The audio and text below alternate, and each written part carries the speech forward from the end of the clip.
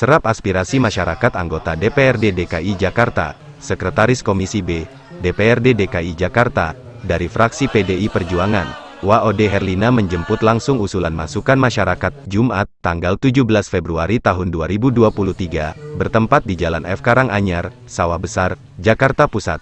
Acara reses resap aspirasi masyarakat dilakukan oleh WAOD Herlina yang dihadiri puluhan masyarakat. Dalam acara kegiatan reses ini turut hadir Camat Sawah Besar yang diwakili Sekcam Sawah Besar, Lurah Karanganyar diwakili Kasih Kepemerintahan, Pegawai Suku Dinas UMKM Wali Kota Jakarta Pusat, Ketua RW 06 Karanganyar bersama perangkat RT.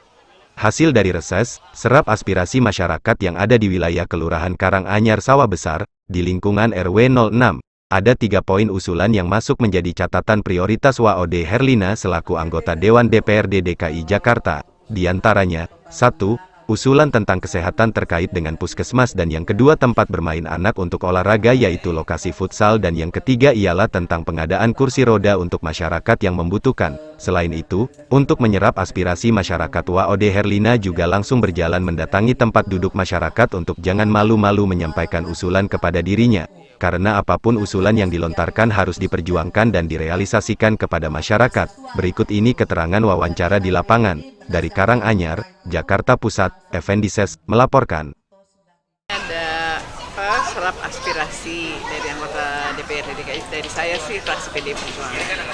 Jadi hari ini hadir, kalau saya sih sering nyebutnya itu eh, belanja masalah, jemput aspirasi, supaya apa yang bisa ikhtiar untuk memajukan lingkungan di sekitar RW 06 khususnya ini bisa kita lakukan sama-sama ada tiga tadi yang penting yaitu puskesmas menjadi skala prioritas yang kedua untuk sarana prasarana anak-anak futsal yang ketiga ada minta tolong kursi roda supaya bisa untuk bergantian dipinjamkan ke masyarakat yang perlu.